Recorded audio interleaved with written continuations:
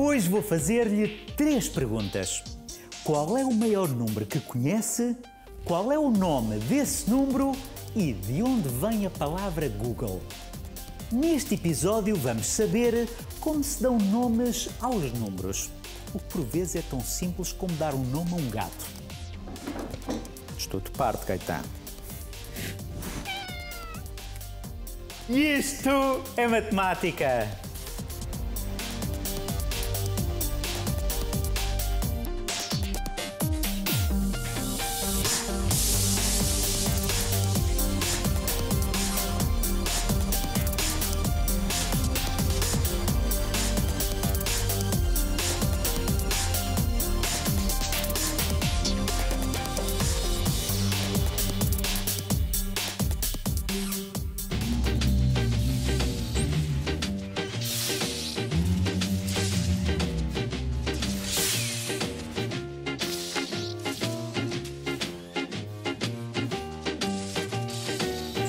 Olá, bem-vindo! Se é adulto e já conheceu alguma criança, é natural que algum miúdo já lhe tenha perguntado. Ó oh, tio, qual é o maior número que existe no universo? Sim, eu sei. Esta é uma daquelas alturas em que você pensa.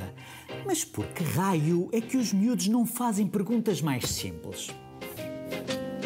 Olha, em vez disso, não queres saber de onde é que vêm os bebés?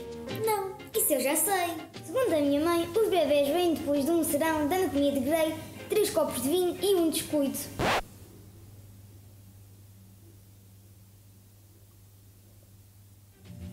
Tio, qual é o maior número que existe no universo? É melhor responder.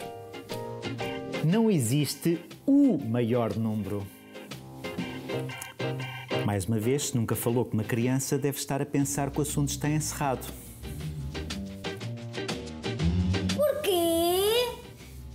Porque a seguir a qualquer número há sempre mais um. Se houvesse um número maior que todos os outros, nós somávamos mais um e obteríamos um número ainda maior. É por isso que os números nunca terminam, eles são infinitos. Hum, ok. Mas qual é o maior número com um nome?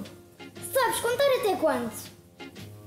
E é aqui que se costuma dizer em voz alta: És um menino muito curioso. E a pensar: já ias, mas é chatear a tua mãe. Não sei responder a isso. Agora vá, vai interromper a maratona da anatomia de Grey da tua mãe antes que tenhas o irmão. E já nos safamos. Ainda assim, agora é tarde, já que a pergunta qual é o maior número com nome vai moer-nos a consciência durante o resto da noite.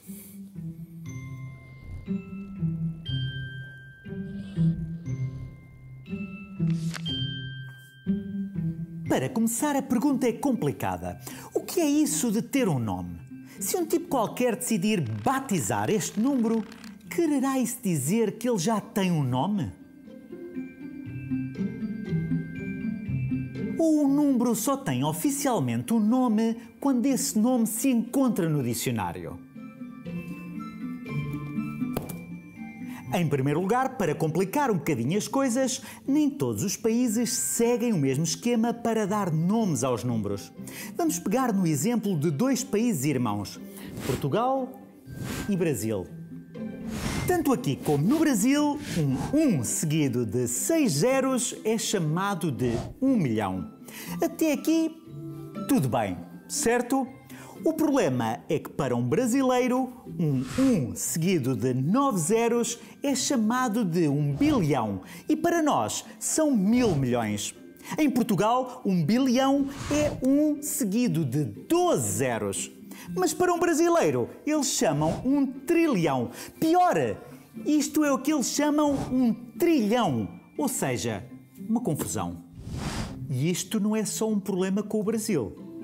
Os Estados Unidos também usam nomenclatura brasileira, ou vice-versa, chamando billion àquilo que nós chamamos mil milhões, o trillion àquilo que nós chamamos bilhão. De qualquer forma, podemos sempre continuar a nomear números por aí acima usando os leões. Podemos ir, pelo menos, até ao centilhão, que é um 1 seguido de 600 zeros. Bem, isto para nós, portugueses. Para um americano, a centillion é só um 1 seguido de 303 zeros. E como se isto já não fosse confuso o suficiente, há quem batize números que gosta a seu belo prazer. E foi esse o caso de Milton Sirota, um rapazinho de 9 anos que decidiu chamar ao número 1 seguido de 100 zeros um Google. E porquê? Só porque sim.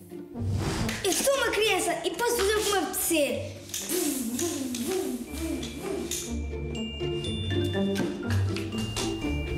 É muito isto. Enfim, era um número especial para ele e, portanto, merecia um nome especial. Entretanto, o tio, que era matemático, descreveu a história num livro e o nome pegou. Obrigado. Ponto de vista prático, isto não tem grande interesse. Jamais alguém conseguirá contar até um Google. Se começássemos agora a contar e disséssemos um número a cada segundo, seriam necessários mesmo muitos bilhões de anos para chegarmos a um Google.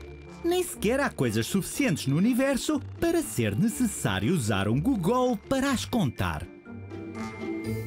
Segundo Carl Sagan, o número de partículas elementares em todo o universo é inferior a um Google.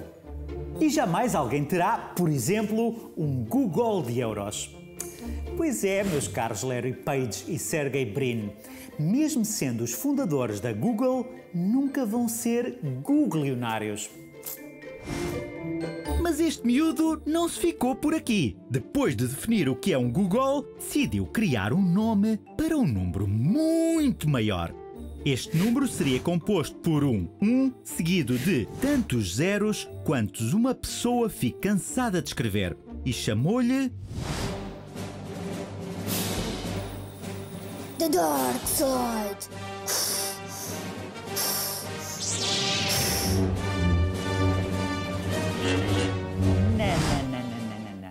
Chamou-lhe Googleplex. Como o tio era matemático e achava que um Googleplex deveria ser um número bem determinado, decidiu que um Googleplex seria um 1 seguido de um Google de zeros.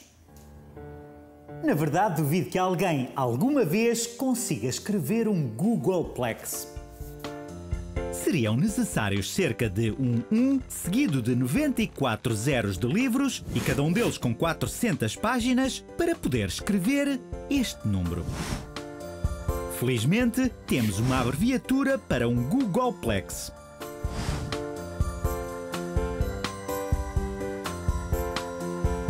Provavelmente já reparou na semelhança entre as palavras Google e Google. E sim, não é por acaso. Os criadores do Google inspiraram-se na palavra Google para batizar o seu motor de busca. Ou seja, o que está na origem do nome do maior motor de busca do mundo é a imaginação fértil de um miúdo de 9 anos. Welcome to the dark side, Durão Barroso. Crianças. Mas tão interessante quanto a pergunta qual é o maior número com um nome é a pergunta qual é o número mais pequeno que ainda não tem nome? Pois, não sei. Teríamos que começar a contar por aí acima. Um, dois, centilhão e um, centilhão e dois, até nos engasgarmos. E quando encontrarmos esse número, damos-lhe um nome. The Dark Side. Estava mais a pensar em patrulha pata, mas está bem. E isto é matemática, não é, Gaetan? Claro.